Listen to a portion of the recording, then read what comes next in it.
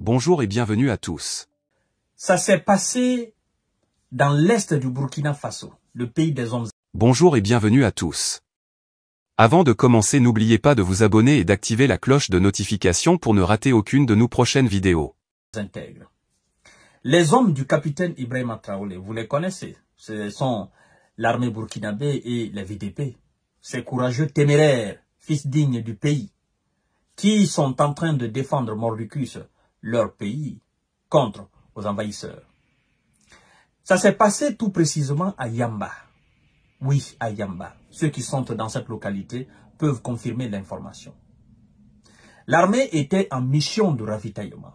Mesdames et messieurs, les terreaux, sûrs de leur force, convaincus de leur force, ont tenté une opération très risquée.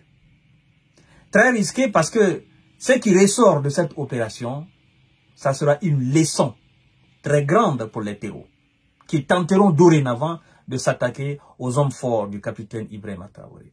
Mais avant de vous déballer ce qui s'est passé et ce qui a mis en déroute ces centaines de terreaux dans la localité de Yamba, je vous invite tout simplement à continuer de vous abonner sur ma chaîne YouTube qui est Kanté Visionnaire et activer la cloche de notification pour ne plus rater mes émissions. Mais aussi, je vous invite à vous abonner à ma page Facebook Infomonde et d'activer la cloche de notification pour ne plus rater mes émissions. Mesdames et messieurs, les bonnes nouvelles ne tombent pas tout seules au Burkina Faso. Oui, nous l'avons appris par l'agence d'information burkinabé qui a indiqué que des centaines de terreaux ont tenté au niveau de la localité de Yamba d'empêcher des soldats en mission de ravitaillement dans la région de l'Est. Mesdames et messieurs, ce qui va suivre après leur tentative de stopper et de mettre l'armée burkinabé en déroute, je vous l'ai dit tout à l'heure, c'est une raison. La riposte immédiate des hommes d'Ibrahim Traoré a permis d'éliminer plus de 150 terreaux. Plus de 150 terreaux sur le champ. Et plus tard, le lendemain, selon la même source. Mesdames et messieurs, le lendemain, les terreaux ont tenté de riposter dans la même localité. Mais ça a été un échec parce qu'ils ont été mis en déroute. Vous savez, longtemps l'on s'est posé la question de savoir, mais tous ces terreaux et ces djihadis, tous ces ennemis de ces différents États du Sahel, où est-ce que réellement ils trouvent les armes aussi sophistiquées? Mais la réponse est tombée. La réponse est tombée parce que les marchands d'hommes, n'est-ce pas, les marchands d'armes circulent dans ces coins-là. Et ce pas des Africains. Loin de là. Ce sont des Occidentaux qui ravitaillent ces terreaux. Parce que mais, la plupart des chefs d'État se posent la question. Il n'y a pas d'usine de fabrication de missiles. Ces pays, il n'y a pas d'usine de fabrication d'armes. Mais ces civils qui ont construit des groupes de terreaux, des groupes de djihadis, s'attaquent quand même à des armées républicaines avec des moyens colossaux. Ils enlevaient ça où?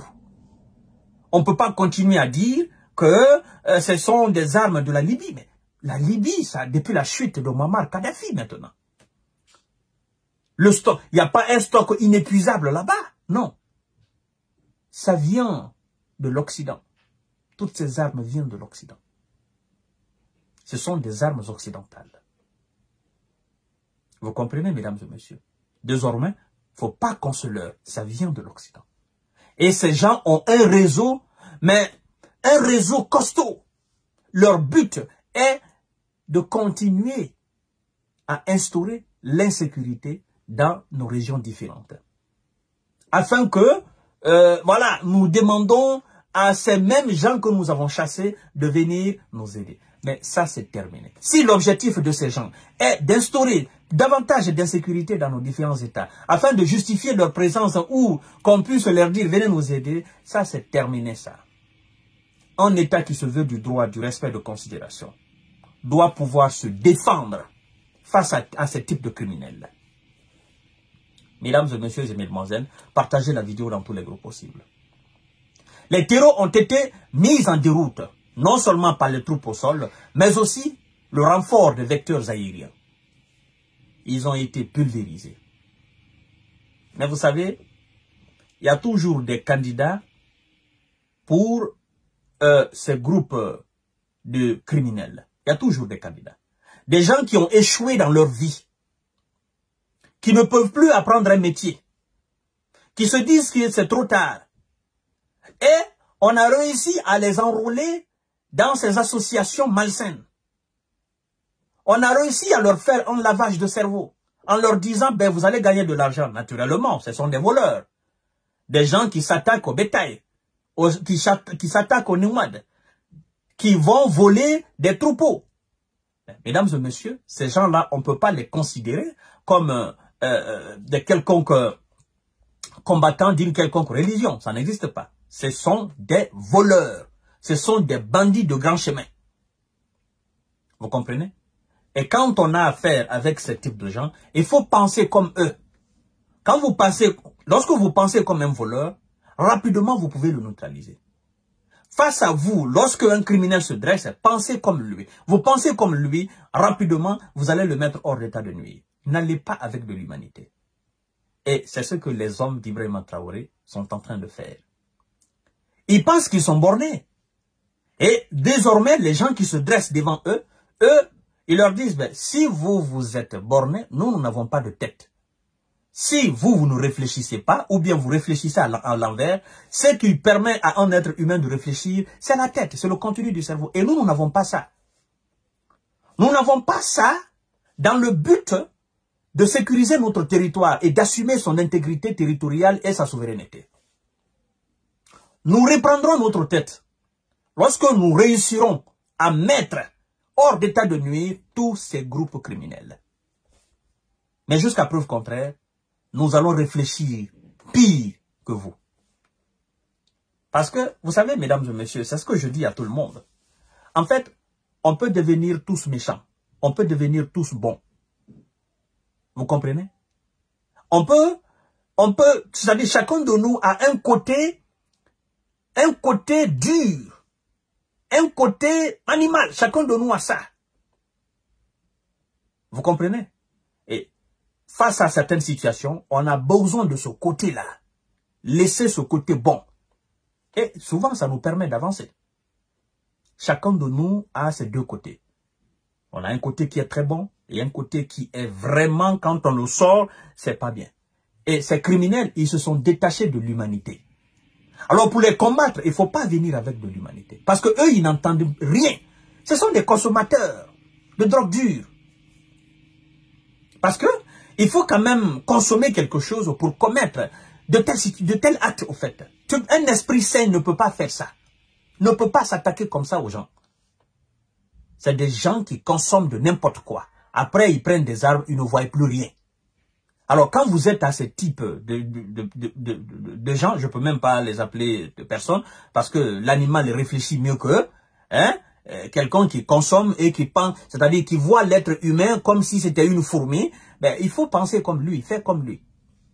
Comme ça, vous allez avoir les mêmes visions. Ou vous, vous allez avoir une vision beaucoup plus floue que lui. Et comme ça, quand il vous verra, il se dira, hum, moi, je pense que je suis fou, mais lui, là aussi, il n'a pas de tête. Voilà. C'est ça surtout. Donc, c'est une euh, encore énorme victoire pour l'armée burkinabé. Mesdames et messieurs, nous devons encourager nos braves soldats à continuer parce que grâce à eux, nous dormons tranquillement euh, dans les grandes villes et dans les petites, euh, dans les petites villes, mais aussi dans les villages burkinabés. Grâce à eux, grâce à leur détermination, grâce à leur bravoure, euh, grâce à, leur patriotisme, à leur intégrité, ben nous autres, nous dormons en tant que civils, nous dormons tranquillement, euh, n'est-ce pas, au pays. Et donc, nous devons les soutenir, les remercier. Ne serait-ce que ça, c'est très important. Voilà. Partagez la vidéo dans tous les groupes possibles. Merci encore une fois au Brave Solva. À tout à l'heure pour notre série. N'oubliez pas de vous abonner et d'activer la cloche de notification pour rester informé de nos prochaines vidéos. Restez à l'écoute pour les développements passionnants à venir.